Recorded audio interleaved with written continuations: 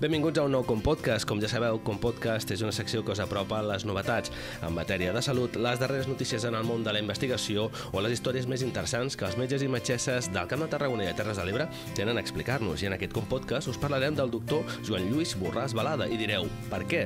Doncs perquè fa poc, fa poc més d'un mes que la Generalitat de Catalunya li va otorgar la medalla Josep Trueta aquest especialista en oncologia mèdica, una distinció que posa en valor entitats i també a professionals que han destacat de forma significativa pels serveis prestats en vista al progrés i a la millora de la salut. Tenim amb nosaltres avui el doctor Borràs. Benvingut. Bon dia. Doctor, enhorabona, abans de res, uh, un reconeixement més que merescut a la trajectòria professional seva. Sí, moltes gràcies. Eh, bueno, pot ser merescut, però també eh, val a dir eh, per molta gent que ha contribuït en aquest projecte. Eh? I també la meva família, que durant aquests més de 40 anys ha estat al meu costat. Mm -hmm. Com dèiem al començar, vostè és especialista en oncologia mèdica i el 1979 vostè va posar en marxa el, el servei d'oncologia, en, en aquest cas de l'Hospital Universitari Sant Joan de Reus. Com va anar tot plegat? Com va ser posar en marxa aquest servei que també és un, un servei referent. Bé, jo primer havia fet l'especialitat de medicina interna a Vall d'Hebron i després a oncologia, no pròpia, a l'Hospital de Sant Pau. Es deia oncologia, no hi havia, un, hi havia radioteràpia, hi havia oncologia, eh, però en aquell moment a Espanya ni pràcticament a tota Europa aquesta especialitat no estava reconeguda, sí als Estats Units, uh -huh. i es coneixia en tot cas com a oncologia. Uh, un grup de gent que estava a Sant Pau, que era pioner amb el tractament i amb l'estudi del càncer, on jo vaig fer l'especialitat, eh, va, eh, ens vam plantejar-nos que fora de Barcelona no hi havia atenció oncològica. Jo sóc tortosí, Terres de l'Ebre, i també del Camp de Tarragona, de Reus i de Tarragona, i va, vaig estar eh, vocacionat per portar tot el que jo estava fent i sabia cap aquí, cap al territori, perquè també és una vocació que tinc. Eh, vam considerar Terres de l'Ebre, però no hi havia prou massa crítica, i després l'opció més important, que era Joan 23, que era X, l'X no contemplava l'oncologia com a tal, o sigui que havíem d'anar a un lloc com la Tecla o com Sant Joan, hi havia una tradició, Sant Joan de Reus de relació amb l'Hospital de Barcelona i jo venia amb els meus eh, companys i caps a llavors eh, aquí i llavors vam decidir que aquest desenvolupament el faríem a poc a poc, jo venia un dia a la setmana i, i anàvem creixent fins que es, el vam poder desenvolupar i va ser allà quan ja vam començar amb molta relació encara amb l'Hospital de Sant Pau. Va ser complicat? eh, no, quan tens ganes d'una cosa i et fa il·lusió i tens les idees clares i energia, eh, no és complicat, eh, perquè fins i tot jo penso que moltes coses de l'organització sanitària són mm, tan o, o més complicades ara, no per culpa de res, sinó perquè és complexa, que ara, per tant, amb la il·lusió va estar per davant de les complicacions. Uh, el doctor Borràs també va fundar i dirigir el primer registre de càncer de Catalunya, en aquest cas a, a Tarragona. Sí, uh, no, no teníem dades de lo que es diu de base poblacional. Podíem especular, podíem agafar dades d'altres països i, i jo tenia per aquesta curiositat i aquesta vocació també eh, de que el país tingués un... Era, I era més fàcil fer-lo amb un territori fora de, de l'àmbit de Barcelona, que era molt més complexa, i aquí ja teníem 600.000, 700.000 habitants i donava base.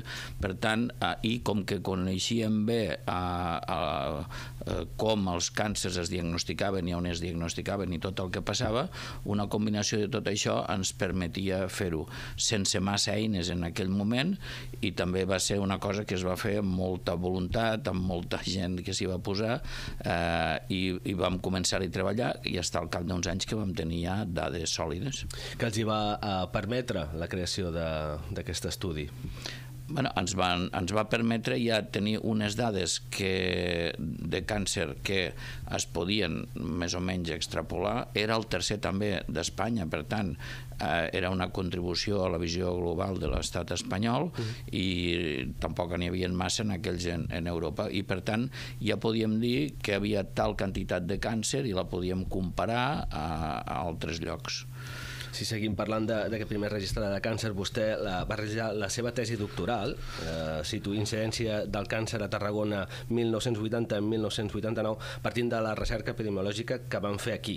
Entenc que, que eh, els resultats eh, que vostès van començar a obtenir li van servir per poder treballar sobre la seva tesi doctoral i els resultats que en va poder extreure, oi? Sí, va ser, va ser tot conseqüència una cosa de l'altra, perquè no era la primera intenció, però quan van veure que s'acumulava donaven dades al meu director i mentor, el doctor Pau Viladiu, que mm, malauradament se'ns va morir fa uns anys, mm. que va ser el líder també allà a Sant Pau, em, em va animar a que en fes una tesi doctoral i que la vam estructurar i la vam combinar també amb els resultats que l'Organització Mundial de la Salut ens va ratificar com a bons.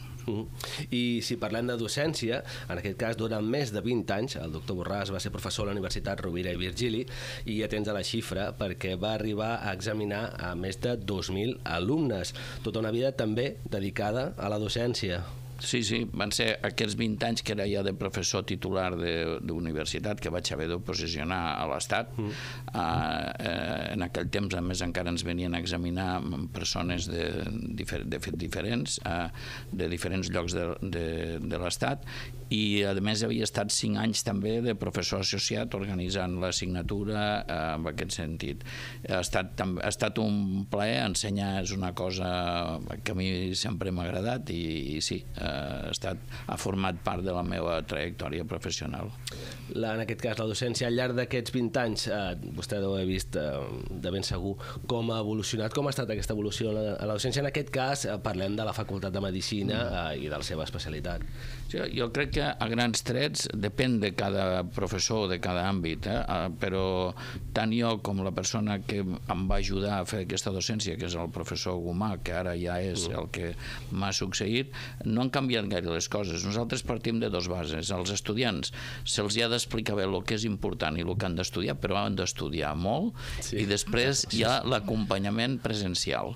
I els estudiants el que es fixen és en el que fas, no tant amb el que dius, uh -huh. i és, i és la, la, diríem l'ensenyament pràctic i també l'ensenyament sobre la ideologia de la medicina amb el teu comportament. Mm, nosaltres no l'hem canviat gaire, només hem aportat les innovacions, eh, diguéssim, de coneixement que s'han anat produint, però el sistema aquest de continuar fent les classes sense diapositives, tot i que se'ls dona material, però que les fem a, a la pissarra o parlant o interaccionant a classe, aportant el que no pot aportar un recurs més tecnològic que també se'ls facilita i això no, no, no s'ha canviat i molt important, la pràctica i estar al costat de, de metges que són docents.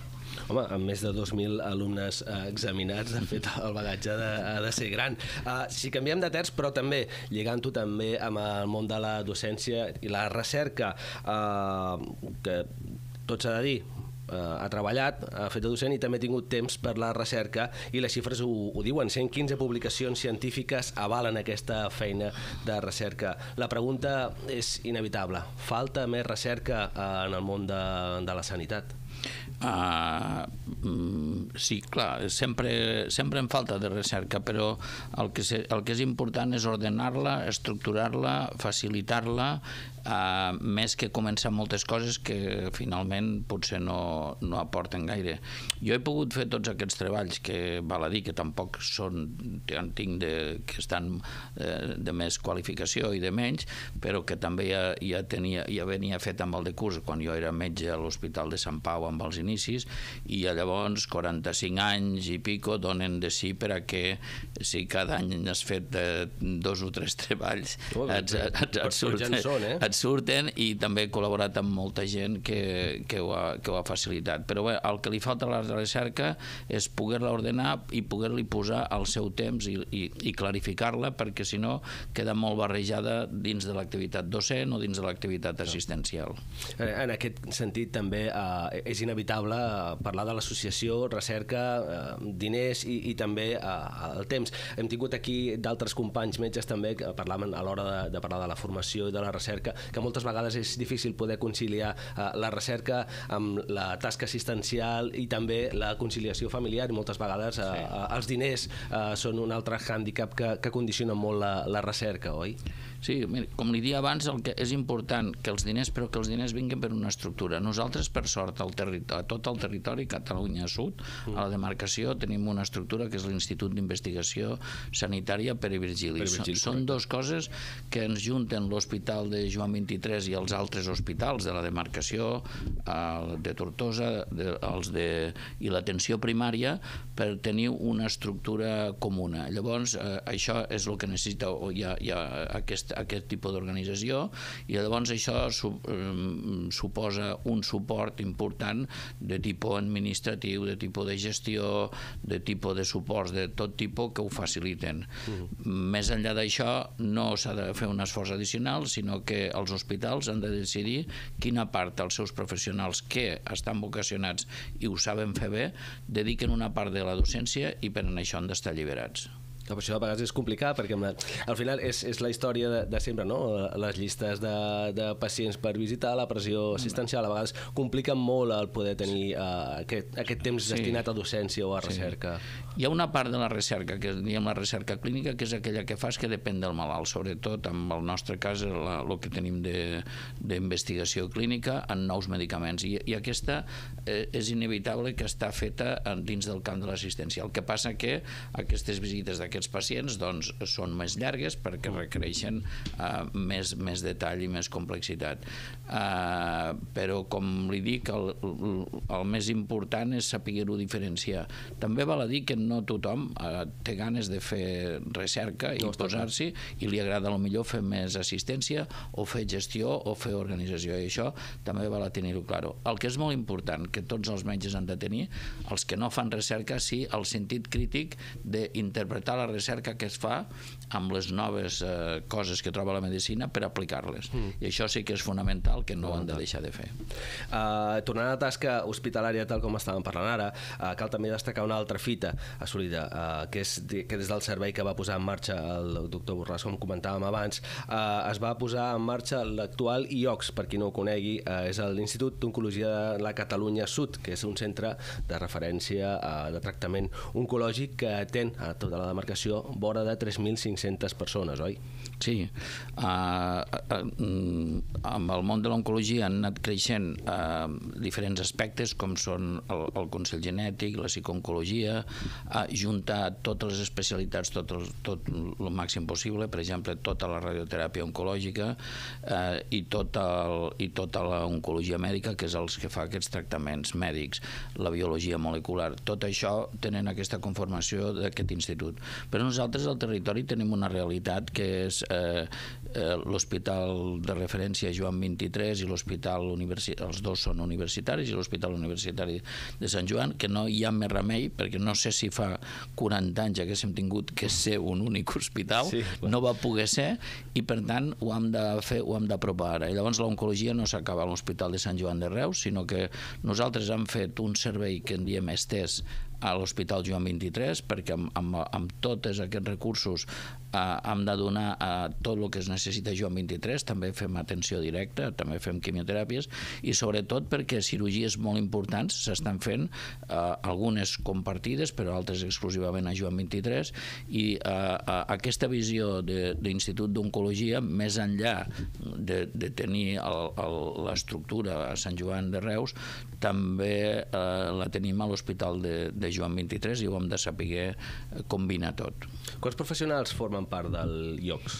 Bueno, eh, si els contem tots, enfermeres, auxiliars, psicòlegs, eh, biòlegs i tal, eh, secretaris i tal, eh, metges i residents som uns 150. 150. De, de metges especialistes, de, de metges eh, d'oncologia eh, són uns 20 i uns 12 de radioteràpia, Uh, tenim tres residents nous per any, en aquest moment hi han vuit residents, uh -huh i, uh, però hi ha tots aquests altres professionals que, que ho conformen, això.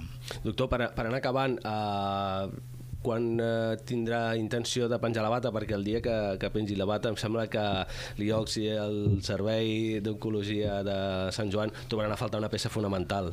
Bueno, no, no, ja li dic jo que no se'n ressentien, eh? perquè la vida és així i va passant. Jo no sóc el director, ja fa molts anys eh, que ho vaig, sí. de, vaig pactar amb, amb el doctor Gomà, que és aquest, perquè també era una manera de que jo no tingués tota la pressió del castal davant de tot. Uh, jo no, no, tinc, no m'he plantejat eh, penjar la, la bata, m'ho diran les circumstàncies, la vida, la biologia, perquè tard o d'hora fer això, però uh, això, uh, estic ben segur segur que, bueno, que el dia que malauradament no hi pugui ser o decideixi no ser-hi, eh, co continuarà segurament sense la meva ajuda, però hauran arribat altres ajudes molt importants que tindran el repte de tirar tot això al territori, aquesta atenció oncològica de la manera que sigui endavant. Doctor Joan Lluís Borràs, especialista en oncologia mèdica, guardonat amb la medalla Josep Tureta de, de la Generalitat de Catalunya. Moltíssimes gràcies per atendre els micros de Compodcast i esperem tornar-lo a tenir ben aviat per poder parlar d'oncologia mèdica o d'algun altre guardó que pugui rebre. Moltíssimes gràcies. Gràcies a vosaltres per la vostra invitació. I moltes gràcies també a tots els que ens veieu i ens escolteu. Ens veiem i ens escoltem en un proper Compodcast ben interessant. A reveure.